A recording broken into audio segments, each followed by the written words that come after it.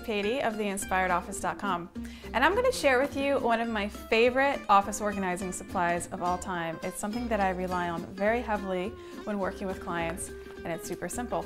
It is just a simple clear plastic file folder. I try to keep these in my trunk. I try to keep them in stock and pass them out to clients. It's hard to keep them in stock because I use them so much every single week. The reason why I like these is because a lot of my clients, perhaps like a lot of you watching, tend to be out of sight, out of mind.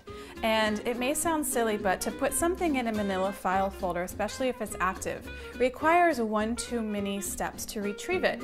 Of course you know something's inside, but subconsciously, to see that something is inside without taking the extra step to open a folder is really gonna help you to remember what you put where. Um, they're really great, like I said, if you're out of sight, out of mind, because you can't it's, it's really hard to lose something in here. I use these all the time on clients' desks, either just laying flat or maybe upright in a step rack.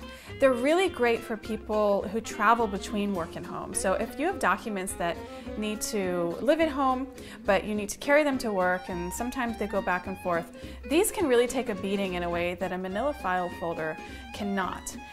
Um, if ever I'm making for a client an extremely important active file, such as bills to pay, I always, always put them in a clear file because again, if it's something actionable, you have to remember that it exists and to have something clear really helps tremendously. So this exact one is just from Staples. They sell them in packs of six, but all different stores and companies make them. I really like that they tend to be color coded too. So in the pack that I get from Staples, I think there are six colors to a pack, but I've seen many different versions of this where the maybe just the tab is colored, not just the whole folder. But like I said, they are one of my favorite supplies. They cost, you know, far less than a dollar a piece, but they truly can transform an office. I've seen it happen tons and tons of times.